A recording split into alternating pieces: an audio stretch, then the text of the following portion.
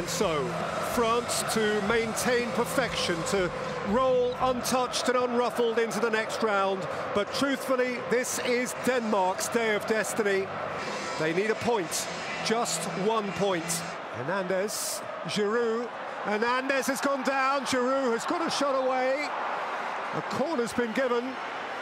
Olivier Giroud is hopeful of perhaps a little bit more. Kanté can try to profit from that. Delaney dispossessed him. Cornelius is on his way, and Eriksen's arriving! Mandanda committed himself, Eriksen went over, and France got off the hook.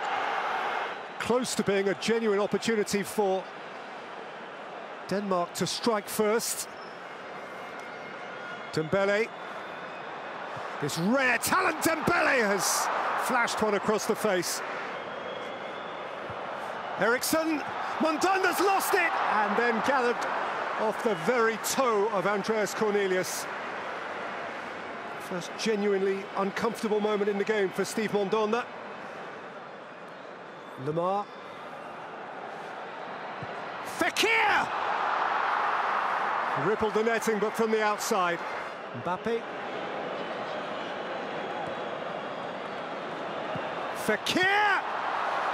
Schmeichel plunges. Well, there is little question that the uh, French substitutions have impacted on their uh, inventiveness. Mbappe. And still, Kylian Mbappe.